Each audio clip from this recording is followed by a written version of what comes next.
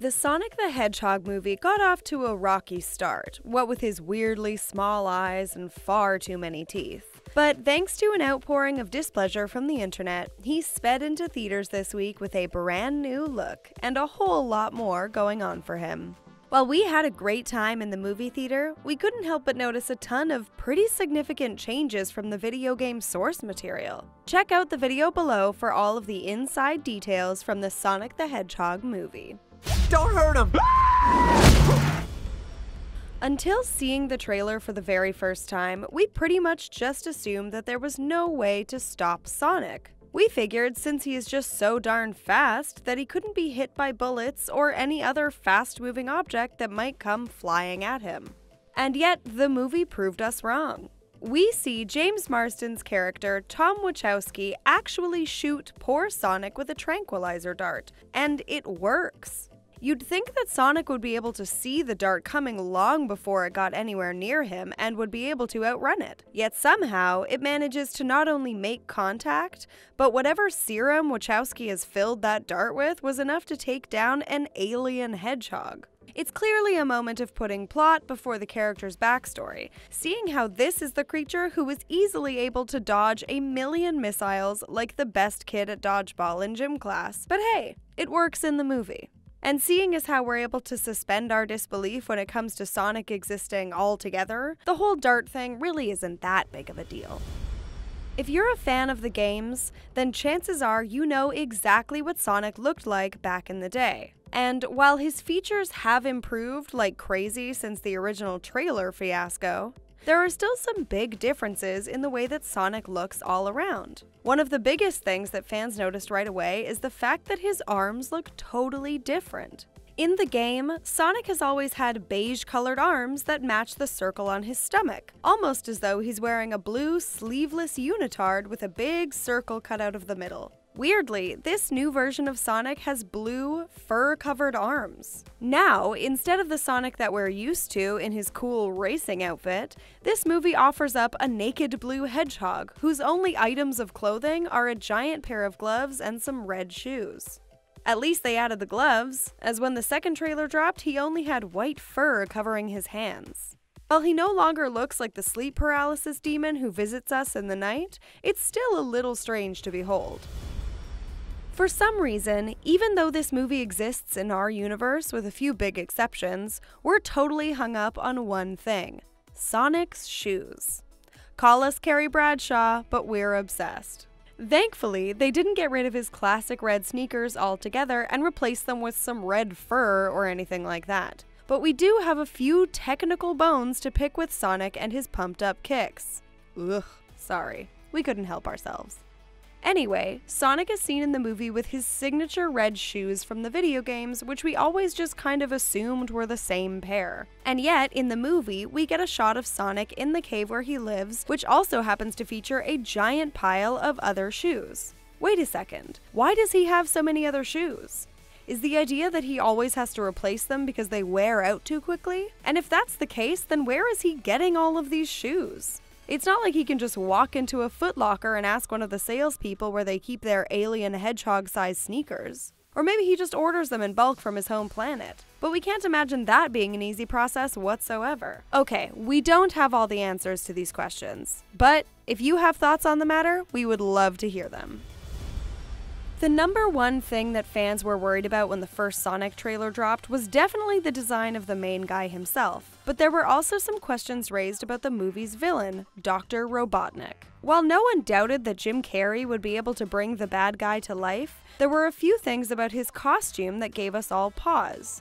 When we first saw him, he appears in an outfit that is perfect for a bad guy, but looks nothing like the Robotnik we're used to from the games. When we think of Robotnik, we think of a round man in a bright red jacket, complete with yellow cuffs, yellow buttons, steampunk looking goggles, and the biggest mustache you could ever imagine. Luckily, Jim Carrey does sport this look during the movie, though it's considerably more toned down. But he also rocks a few different other looks. His preference definitely seems to be the sleek all black outfit with his tailor jacket and bad guy sunglasses, and honestly, we don't blame him. It's a pretty good look. and a whole lot more sinister than the red marching band jacket that the character has rocked in the games. Weirdly enough, in all of the years we've spent playing the Sonic video games, even though we know he is a hedgehog, we never really imagined him with quills. He's always been, well, pretty smooth. Sure, he has his giant spiky hair, but until we saw him fully rendered into photorealistic 3D, we kind of forgot that he would actually be covered in pointy quills. In the movie, he does look more furry rather than spiky, but the fact that he sheds these quills is a pretty major aspect of the plot. Both Wachowski and Robotnik interact with Sonic's discarded spikes, and there's something else about them that we can't ignore either they are pulsing with a sort of blue energy that actually electrocutes Robotnik when he tests out licking one. Why he decided to lick a discarded pulsing animal quill is a whole other story for another day.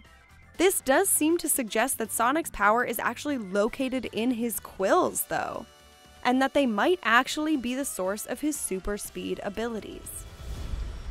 When we got a brief glimpse of Dr. Robotnik in a Mad Max style shot from the trailer, surrounded by giant mushrooms, the first thing that came to our mind was Mushroom Hill Zone.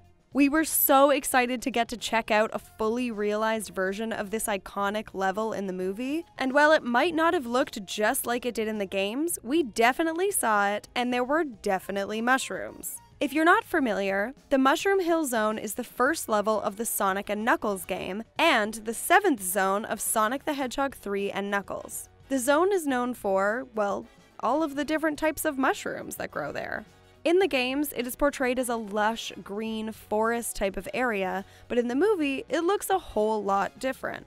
Instead of Mushroom Zone, it is referred to as the Mushroom Planet, and we catch our first glimpse of it on Sonic's map. And then again, much later in the movie, we get to the scene in which Robotnik is transported there when Sonic sends him through a ring. Like we touched on earlier, the zone is a little more Mad Max and a little less lush green forest, but it still looks pretty cool. One of the biggest surprises about the Sonic the Hedgehog movie is that sometimes it doesn't even feel like much of a Sonic movie. Even on the poster, the two top billed actors were Jim Carrey and James Marsden, not Jean-Ralphio. sorry, we mean Ben Schwartz, the actor who voices the little blue guy. While Sonic is a huge part of the movie for sure, the rest of the characters are all humans, and aside from Robotnik, they're not even from the games we really would have loved to see a Sonic movie that took place on Sonic's planet a whole lot more than for just a few key scenes.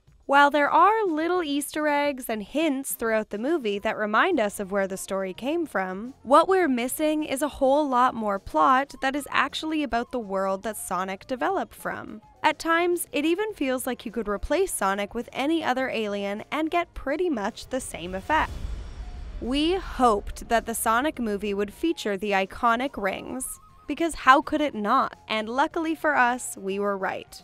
They even slipped in an awesome Easter egg and replaced the ring around the Paramount logo with 22 of the classic rotating gold rings from Sonic. As they complete the circle, they even added in the oh so familiar plinky sound, sending the movie off on the right foot but it was clear as the movie went on that they were reinventing the rings altogether and making them something completely different. Instead of just something to be collected, Sonic can actually use the rings in the movie to open portals to different places and planets. He uses them more than once throughout the film. First, in order to save Tom and Maddie from falling off of a building, and then when he sends Robotnik to that mushroom planet that we talked about before. This is actually one change that we think is a really cool, creative way to bring Sonic to the big screen and update a classic favorite while still keeping with the spirit of the games. Finally, one of the biggest changes that the movie decided to make was the decision to confirm that Sonic is actually an alien. But they aren't the first to do this. In fact, some argue that all of the games are also wrong about that fact and that Sonic himself is actually from Nebraska. The games never mentioned it outright, so the first time anyone has actually explicitly stated this fact is now in this brand new movie. Long ago, one of the creators of Sonic, Madeline Schroeder, actually published a 13 page history of the character. Unfortunately, this document has mostly been ignored by the game creators and clearly the makers of this movie. But it states very plainly that Sonic was born on Earth in the 20th century in the town of Harley, Nebraska. It's right there in the first few lines. On one hand, maybe it is more compelling for a kids' movie to have a blue hedgehog from outer space, and that a Fargo style origin story might not have provided the same impact. But still, they straight up ignored this. They changed so much in Sonic the movie, and yet they still managed to retain the spirit of Sonic, so we're feeling pretty good about the whole thing. What about you? Are you a fan of this new reinvention? Or did you have different feelings about the whole thing? What was the biggest change you saw? What was your favorite part of the movie? Let us know in the comments below, and don't forget to hit that subscribe button to keep up with all of the latest from Screen Rant.